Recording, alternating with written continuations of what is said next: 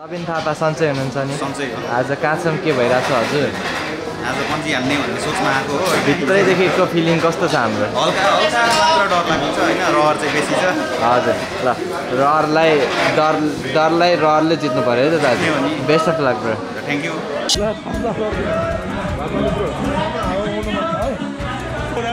Ram सास फेर्नुहोस् है।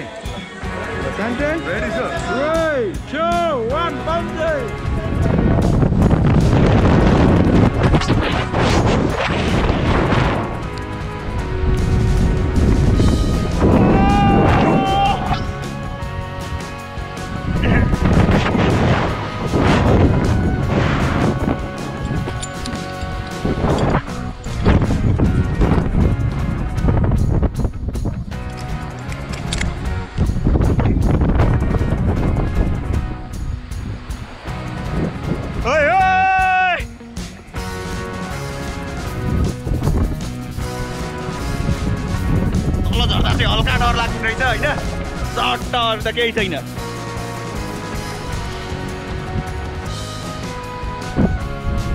रहेछ त आउन त ल रमाइलो छ। दामी भयो बबाल है। बब्बाल